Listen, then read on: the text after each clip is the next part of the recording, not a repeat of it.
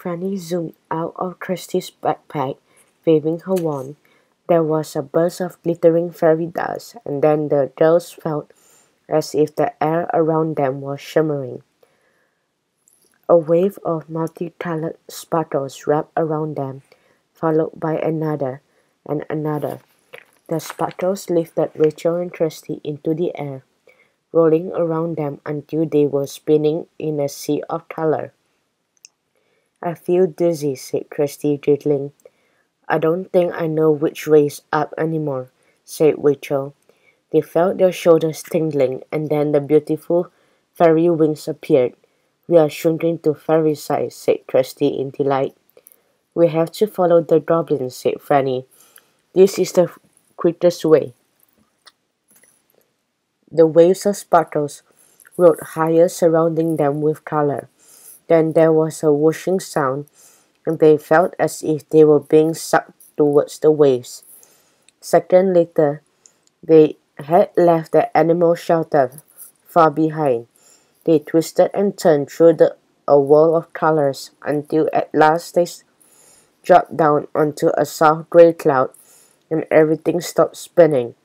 Where are we? asked Rachel, pushing the fluffy cloud out of her way so that she could sit up.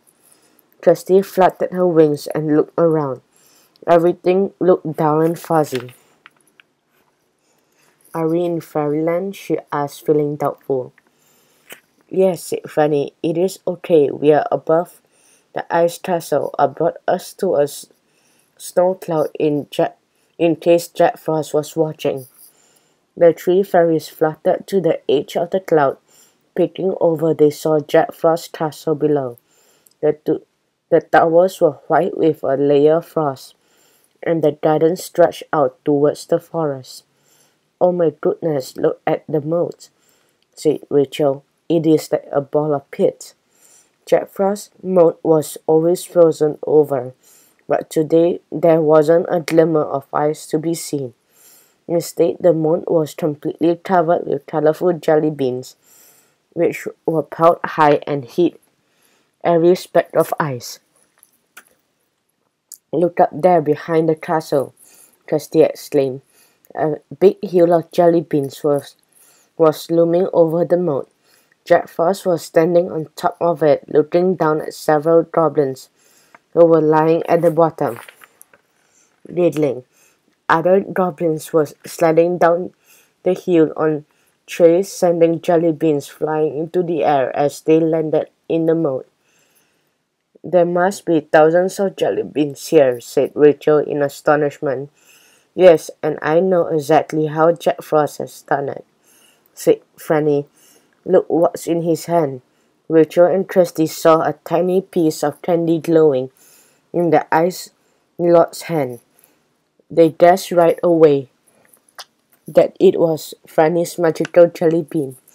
It, we have to get the magical trick back, said Kirsty, but how? Let's go down there and watch Jack Frost and the goblins, said Rachel.